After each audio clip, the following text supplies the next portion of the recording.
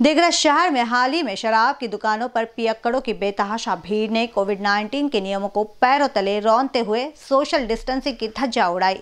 वहीं शराब दुकानदारों ने शराब की होम डिलीवरी के विकल्प को कूड़ेदान दिखाते हुए शासन के नियमों का उल्लंघन किया। और चौंकाने वाली बात तो यह है कि इस पूरे मंजर पर दिग्रज पुलिस सहित राज्य उत्पादन शुल्क ने आग मूंद कर भरपूर लेट लतीफी बरती है। राज्य के कई छोटे बड़े शहरों में कोरोना संक्रमण की तेज रफ्तार, सुनामी का तांडव, रोज़ाना कई मौतों का सबब बन रहा है। अस्पतालों में मरीजों और शमशानों में मृतकों की कतारों का अफसोसनाक नज़ारा अब आम हो चुका है। वहीं राज्य के कई गाँव और शहरों में कोरोना प्रादुर्भाव को हल्के में लिया जा रहा है। इस तर्ज पर बात अगर दिग्रज शहर की की जाए तो यहाँ भी सोशल डिस्टेंसिंग की सरेआम धजिया उड़ाई जा रही है। हाल ही में यहाँ गजानन टॉकीस रोड पर स्थित एक शराब की दुकान पर लोगों की बेतहाशा भीड़ उमड़ आई थी। मालूम हो कि फ़िलहाल जिलाधिकारी द्वारा गत बुधवार को जारी हुए आदेशानुसार ज़िले में शराब बिक्री करने वाले परमिट धारकों को कोविड 19 के नियमों का पालन कर शराब की होम डिलीवरी की अनुमति दी गई है।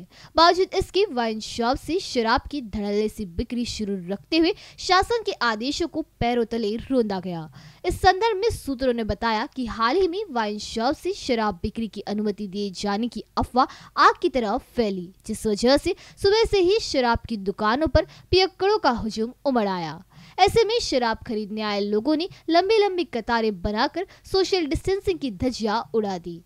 ताजुब इस बात का है कि शहर के भीड़ भाड़ वाले मुख्य रास्तों पर स्थित शराब की दुकानों पर बीते कुछ दिनों से धड़ल्ले से जारी शराब बिक्री करने वालों और शराब के लिए कतारों की शक्ल में खड़ी भीड़ से दिग्रस पुलिस ने नज़रें क्यों चुरा ली?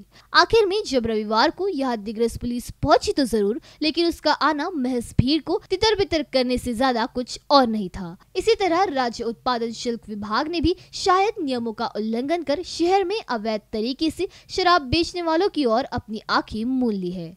अफसोस इस बात का है कि एक तरफ़ राज्य में कोरोना संक्रमण से लोगों की जान पर खतरा मंडरा रहा है। बड़ी तादाद में लोगों की मौतें हो रही है। वही शराब के शौकीन भीड़ का हिस्सा बन रहे हैं और प्रशासन जानते बूझते मौन धारण किए हुए है।